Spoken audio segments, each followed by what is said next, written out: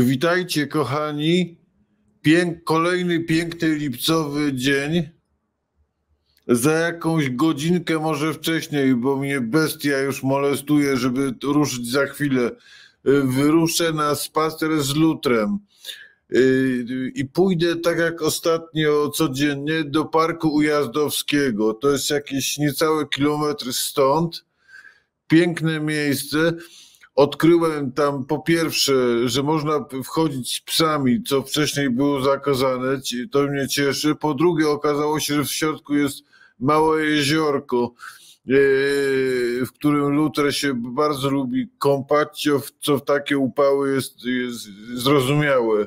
Ale nie chcę wam tylko teraz o piesku, o Lutrze, o spacerach z pieskiem, tylko o czymś innym. Jak siedzę w tym parku ujazd, ujazdowskim sobie na ławeczce, to patrzę przez drzewa po, na drugą stronę ulicy, którą bardzo dobrze widać. Po drugiej stronie widać, po drugiej stronie ulicy jest siedziba Ministerstwa Sprawiedliwości. Piękny widok, majestatyczny, romantyczny, uspokajający, a jednak świadomość, że po drugiej stronie ulicy, dokładnie w tym budynku, przez ostatnich 8 lat miała swoją centralę i siedzibę, yy, miała swoją siedzibę centralna, centrala gangu, który rządził Polską. Siedząc tam sobie, Y, rozmyślam nad, nad ludźmi, którzy, którzy w tym wszystkim uczestniczyli, którzy w tym wszystkim są umoczeni. Widzieliście wczoraj y, posiedzenie komisji i pana y, Romanowskiego, który za chwilę stracił immunitet, pewnie wyląduje w areszcie. Tak nie wygląda bandzior, złoczyńca, człowiek, którego byśmy, przed którym byśmy uciekali na ulicy ktoś, przed kogoś byśmy się bali. Nie. Tak wygląda człowiek, który mógłby być naszym sąsiadem, którym, któremu codziennie mówilibyśmy dzień dobry, kłanialibyśmy się z, z, szacunkiem, z szacunkiem i dziękowalibyśmy, że mamy miłego, kulturalnego sąsiada. Bo przecież nie jest tak, że y, członkami tego gangu, który Polską rządził, były tylko, tylko kanalie, troglodyci, szumowiny i łachudry. Y, ale siedząc na tej ławeczce zastanawiam się, co sprawiło, że, że ludzie często inteligentni, kulturalnie wykształceni postanowili zaprzedać y, duszę diabłu, złu, y, Kaczyńskiemu i Ziobrze. To na, trochę na jedno wychodzi. Ten park ujazdowski służy mi, posłuży mi też y, tutaj jako metafora trochę z innego punktu widzenia. Niczego nie sprawdzę, nie, nie, nie, nie, nie sprowadzam ad Hitlerum, y, ale nie mogę nie zauważyć, że przy drugim wejściu do Parku Jazdowskiego na, na wysokości y, ulicy Chopina jakieś 50 metrów od, od, od skrzyżowania Alei Ujazdowskich y, z ulicą Piękną 5 października 1939 roku stała trybuna, na której stanął Adolf Hitler i pozdrawiał y, żołnierzy Wehrmachtu, którzy właśnie podbili Polskę i zdobyli Warszawę. Y, kolega, kolega Adolf też był przekonany, że Rzesza będzie trwała y, przez tysiąc lat. Jeśli włączycie, co sugeruję i polecam, na Netflixie film W kręgu zła, to zobaczycie, że, że Rosjanie już zbliżali się do Berlina, a y, panowie ze szczytów nazistowskiej władzy dalej byli zajęci walką o wpływy, Yy, o pozycję w otoczeniu, w otoczeniu Führera, który politycznie, historycznie można powiedzieć już yy, konał. Nawet chwilę przed agonią Berlina i, i, i nazistowskich Niemiec nie byli w, w swojej większości w stanie uwierzyć, że koniec jest, jest tuż, tuż. Nawet wtedy uwierzyli, że w nieśmiertelność poniekąd swoją i, i Rzeszy. Y, nasi y, panowie gangsterzy też jeszcze rok temu o tej porze, w lipcu powiedzmy 2023 roku, przed wyborami, dokładnie trzy miesiące przed wyborami, też daliby sobie rękę uciąć, że mogą robić co chcą, że są panami świata, panami Polski, że rządzą tutaj, oni decydują, kto ma pieniądze, kto dostaje miliony, kto jest uczciwy i, i cieszący się prestiżem, a komu można, komu można pokazać kciukiem y, y, gest w dół i dać mu do zrozumienia, że, że, że czeka go, go unicestwienie. Tak. Oni też uwierzyli, że tak będzie do końca, że nic się nigdy nie zmieni. Zgubiły ich pycha, próżność, pazerność, brak wyobraźni, inteligencji, bo gdyby mieli trochę wyobraźni, trochę inteligencji, to jeśli to byliby w stanie, jeśli nie przynajmniej poskromić choć trochę swoją pazerność i pychę, to przynajmniej pomyśleć przez moment, że jest jeszcze ten, ten naród, który może się, nie powiem za mocno, wku żyć, powiedzmy delikatnie, wkurzyć i na końcu powiedzieć dość, pas, wypad. Tak się stało, na tym polega ten cud demokracji, że nawet pogardzany lud, pogardzany przez rządzących, czasem mówi po prostu dosyć, bo ma podziurki w nosie. My w roku 2015 okazało 16 okazało się, żebyśmy za słabi, za głupi, żeby zabezpieczyć Polskę przed zwycięstwem yy, zła. Ale gdy już zło zostało jakimś cudem w zeszłym roku, nadzwyczajnym zrywem obywatelskim pokonane, to musimy być dosyć mądrzy, żeby ocalić, ocalić Polskę, państwo, siebie samych przed recydywą. Bo, nie, bo nigdy nie wiadomo, czy za rok, pięć, dziesięć nie, poda, nie pojawią się ci albo kolejni złoczyńcy, którzy postanowią, że Polska ma być ich własnością, że trzeba ukraść władzy narodowi i przywłaszczyć ją sobie. Polak był y, dość głupi y, przed szkodą, nie ma powodu, żeby był głupi także po szkodzie.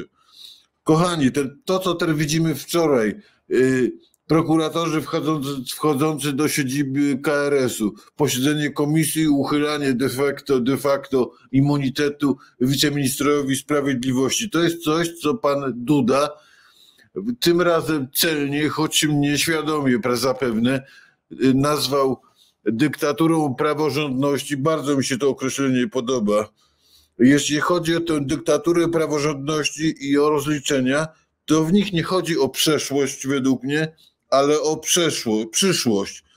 Rozliczenie nie jest o zemście, ale o sprawiedliwości i o profilaktyce. Jest, jest o tym, jak Polaków, państwo polskie, nas zabezpieczyć przed powrotem recydywą zła. To tu jest mm, E, to jest stawka w tej wielkiej operacji i tu rzeczywiście e, potrzebna jest, by jeszcze raz zacytować mojego ukochanego Dudę, dyktatura praworządności. Uderzyć trzeba we wszystkie przyczółki i filary zła i zamordyzmu. Prokuratura, to już się zaczęło. KRS, widzimy początki akcji wczoraj. Trybunał Konstytucyjny i tak zwany Sąd Najwyższy, tak zwany w, w części składający się jest prawomocnie wybranych sędziów, w części y, y, sędziów, y, którzy tam pompką wtłoczyli ludzi wybranych przez neo-KRS. Trzeba uderzyć, uderzyć bez, bezwzględnie i bezlitośnie we wszystkie przeczułki i filary zła i, i, i, i antypraworządności i we wszystkich ludzi, którzy są odpowiedzialni za, za niszczenie państwa, niszczenie demokracji, niszczenie praworządności, za wielkie złodziejstwo, za przywłaszczanie sobie ogroma, ogromnych sum, za nadużywanie władzy, za niedopełnienie obowiązków i, i przekroczenie uprawnień. Wszystkich, czyli Kaczyńskiego i Ziobrę, Morawieckiego i Szydło, tak. bo y, Szydło to, to prawo łamała notorycznie, brutalnie na początku rządu PiS i nie wypada, nie ma żadnego powodu, żeby odpuścić. Nie ma żadnego powodu, żeby odpuścić Kurskiemu i Rydzykowi, Romanowskiemu i Wawrzykowi, Macierewiczowi i Błaszczyko, Błaszczakowi, Bielanowi i Żalkowi, Sasienowi i Obajtkowi, Glińskiemu i Dworczykowi. Nie ma też żadnego powodu, powodu, żeby zapominać o pomniejszych kanaliach, które y, doprowadzały do nieszczęść zwykłych ludzi.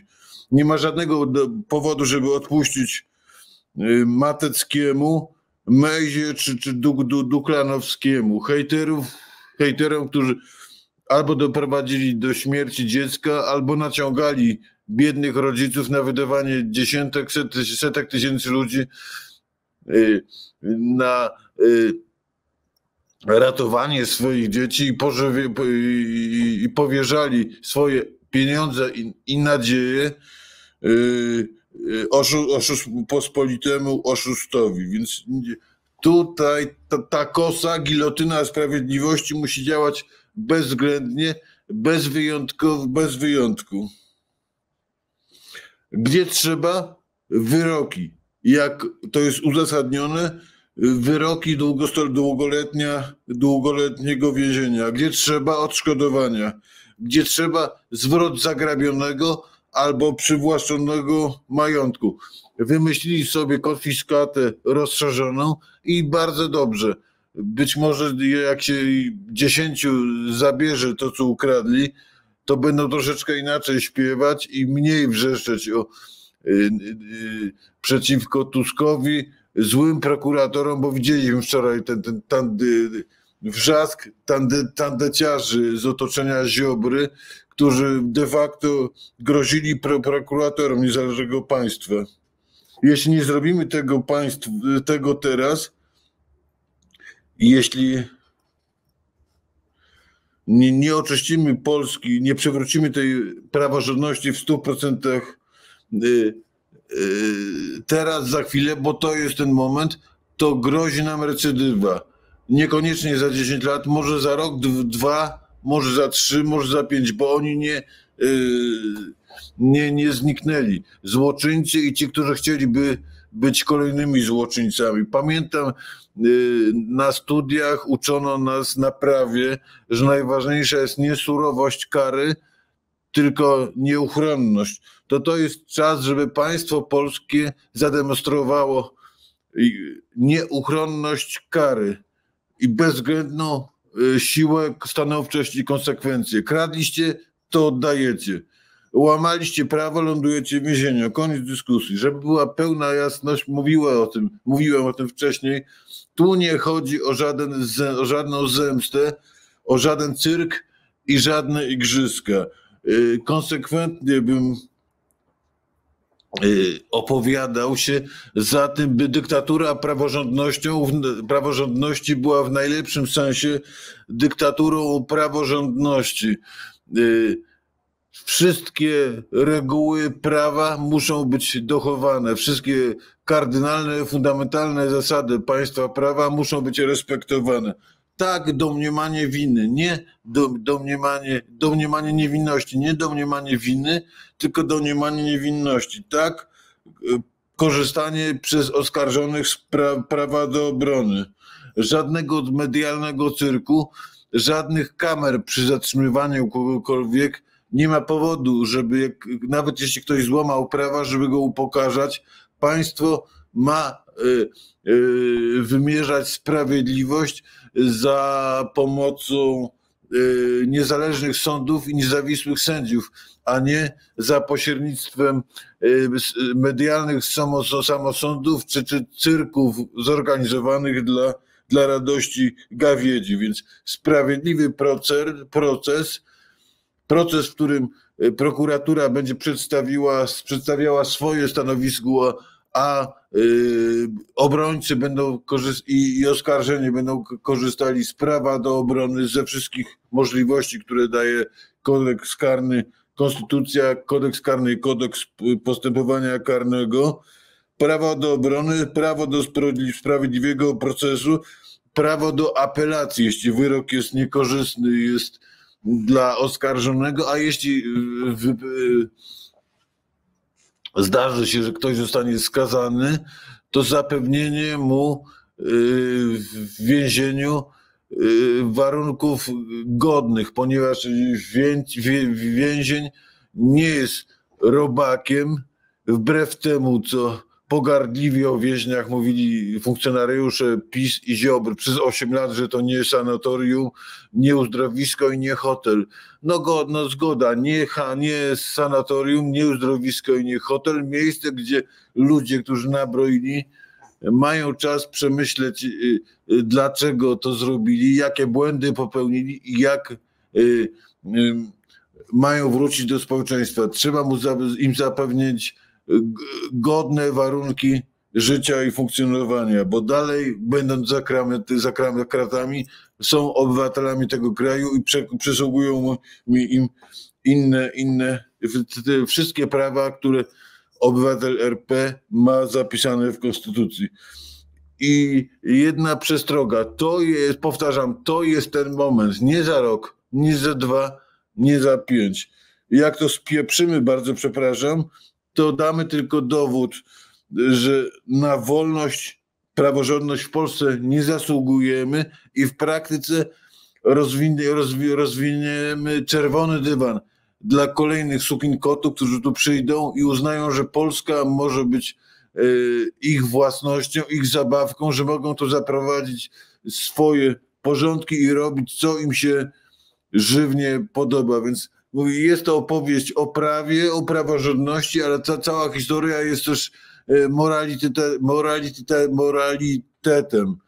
O ludziach niegłupych, e, nie złych e, z założenia, z urodzenia, którzy skręcili na złą drogę, zeszli wskutek, jak mówię, próżności, pychy, pazerności, zachłyśnięcia się władzą, brakiem jednak inteligencji, czujności, wrażliwości. Y, y, zgrzeszyli wobec państwa, zgrzeszyli wobec prawa, zgrzeszyli wobec moralności, zgrzeszyli wobec zasad etyki współobywateli, więc muszą za to ponieść konsekwencje. Żeby, przepraszam, żeby Polska była Polską i no poważnym państwem zasługującym na szacunek i obcych, i swoich obywateli to moje przemyślenia, y, które z ostatnich dni z ławeczki w Parku Jazdowskim, które, ponieważ dochodzi y, południe, za chwilę pogłębię, wychodząc na, z moim psem na kolejny spacer, on będzie się e, moczył i profilaktycznie walczył z upałem, a ja się będę zastanawiał, co zrobić, żeby polskie państwo skuteczne, skutecznie mogło walczyć ze złem, te, które były tym, które było przez ostatnich 8 lat i tym, które może, może się zdarzyć kiedykolwiek w przyszłości. Więc tyle. Y, miłego dnia, kochani. Do zobaczenia.